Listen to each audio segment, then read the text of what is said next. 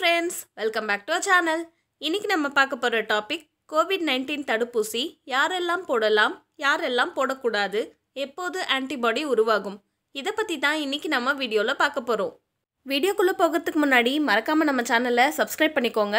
கூடவே பெல்லைக்கனையும் ப்ரெஸ் பண்ணிவிட்டு ஆளுங்கிற ஆப்ஷன் கொடுத்துக்கோங்க. அப்போ தான் நம்ம சேனலில் நான் அப்லோட் பண்ணுற வீடியோஸ் எல்லாம் உங்கள் ஃபோனில் நோட்டிஃபிகேஷனாக வரும். இப்போ வாங்க வீடியோக்குள்ளே போகலாம். கொரோனா வைரஸை எதிர்க்கிறதுக்கு தடுப்பூசி வந்துருச்சுன்ற விஷயம் நம்ம எல்லாருக்குமே தெரியும். நம்ம தமிழ்நாட்டில் கடந்த ஜனவரி பதினாறாம் தேதி முதல்ல இருந்து தடுப்பூசி போடுற பணிகள் தொடங்கி நடந்துட்டுருக்கு. என்னதான் விழிப்புணர்வு ஏற்படுத்தினாலும் தடுப்பூசி குறித்த சில தவறான நம்பிக்கைகள்லாம் நம்ம மக்களோட மனசுல வைரஸை விட வேகமா பரவிட்டு இருக்கு இதனாலேயே தடுப்பூசி எடுத்துக்கிறதுக்கு நிறைய பேர் பயத்தையும் தயக்கத்தையும் காமிக்கிறாங்க. இந்த வீடியோவை நம்ம சேனலில் நான் அப்லோட் பண்ணுறதுக்கு முக்கியமான காரணம் என்னன்னு பார்த்தீங்கன்னா கோவிட் நைன்டீன் வேக்சினை பற்றிய நிறைய தவறான தகவல்கள் பரவிட்டு தான் இருக்கு. பொய்யான போலியான தகவல்கள் எல்லாம் நம்பிட்டு கொரோனா தடுப்பூசியை போட்டுக்காம இருக்காதீங்க. கொரோனா தடுப்பூசியை யாரெல்லாம் போட்டுக்கொள்ள வேண்டியது முக்கியம். கொரோனா தடுப்பூசியை போட எவ்வித தயக்கமும் பயமும் தேவையில்லை. பதினெட்டு வயதுக்கு மேற்பட்ட அனைவரும் தடுப்பூசி போட்டுக்கொள்ள வேண்டியது அவசியம். அறுபது வயதுக்கு மேல் உள்ளவர்கள் நாற்பத்தைந்து வயது முதல் ஐம்பத்தொன்பது வயது வரை உள்ளவர்களில் சர்க்கரை இரத்த அழுத்தம் நோயினால் பாதிக்கப்பட்டவர்கள் ஆதார் அட்டையை காண்பித்து போட்டுக்கொள்ளலாம்.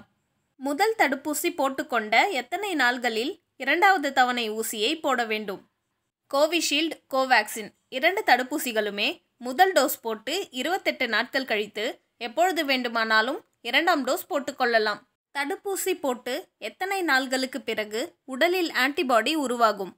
தடுப்பூசி போட்டு நாற்பத்தைந்து நாள்களுக்கு பிறகுதான் உடலில் ஆன்டிபாடி உருவாகும். அதற்கு இடைப்பட்ட காலத்தில் கோவிட் நைன்டீன் வைரஸுக்கு வெளிப்பட்டு நோய் அரும்பல் காலத்தில் இருந்தால் அந்த நபருக்கு தடுப்பூசி வேலை செய்யாது. நோய் தொற்று ஏற்படும். கொரோனா தொற்று ஏற்பட்டு மீண்டவர்கள் தடுப்பூசி எடுத்துக்கொள்ளலாமா நிச்சயம் எடுத்துக்கொள்ளலாம் அதற்கு இரண்டு முக்கியமான காரணங்கள் உள்ளன. ஒன்று நோய் தொற்று ஏற்பட்டதால் உடலில் உருவான ஆன்டிபாடியின் வீரியம் குறிப்பிட்ட காலத்திற்கு பிறகு குறையத் தொடங்கும். இரண்டாவதாக கொரோனா வைரஸின் தன்மை அவ்வப்போது மாறிக்கொண்டே இருக்கும். தற்போது கொரோனா இரண்டாம் அலை என்றெல்லாம் வரும் நிலையில் மீண்ட உடனே போட்டுக்கொள்ளாமல் சிறிது தாமதமாக போட்டுக்கொள்ள வேண்டும். கொரோனா பாசிட்டிவாக இருப்பவர்கள் தடுப்பூசி போட்டுக்கொள்ளலாமா? கொரோனா நோயாளிகளுக்கு நோய் எதிர்ப்பு திறன் குறைவாக இருக்கும் என்பதால் அவர்களுக்கு ஸ்டீராய்டு மருந்துகளை கொண்டு சிகிச்சை அளிக்க வேண்டியிருக்கும். மேலும் ஆன்டிவைரல் மருந்துகளையும் எடுத்துக்கொண்டிருப்பார்கள் அதனால் சிகிச்சை முடிந்து வீட்டுக்கு செல்லும்போது அல்லது அடுத்த ஆய்வுக்கு வரும்போது தடுப்பூசி போடலாம்.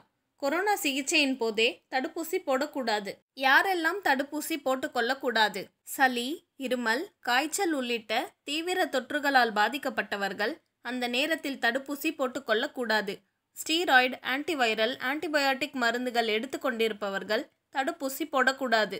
கொரோனா சிகிச்சை பெறுபவர்கள் கடுமையான பிற தொற்றுகளால் பாதிக்கப்பட்டவர்கள் சர்க்கரை இரத்த அழுத்தம் கட்டுப்பாட்டில் இல்லாதவர்கள் பதினெட்டு வயதுக்கு குறைந்தவர்கள் கர்ப்பிணிகள் பாலூட்டும் பெண்கள் நோய் எதிர்ப்பு திறனை குறைக்கும் இம்யூனோசப்ரசிவ் மருந்துகளை எடுத்துக்கொள்ளும் புற்றுநோயாளிகள் உடல் உறுப்பு மாற்று அறுவை சிகிச்சை செய்து கொண்டவர்களுக்கு தடுப்பூசி போடப்படுவதில்லை.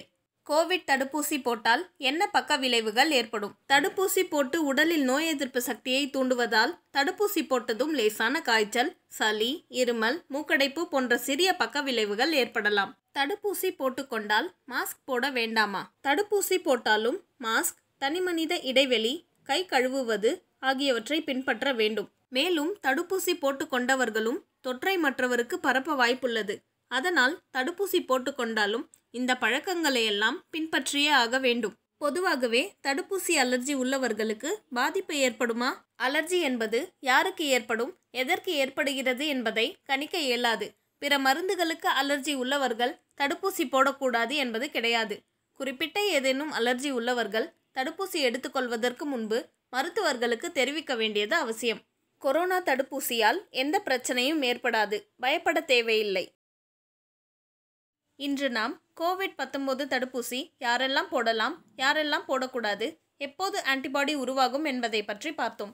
அடுத்து வேறொரு சுவாரஸ்யமான தலைப்பில் நான் உங்களை சந்திக்கிறேன். இந்த காணொளி உங்களுக்கு உபயோகமாக இருந்தால் மறக்காமல் ஷேர் பண்ணுங்கள் நன்றி!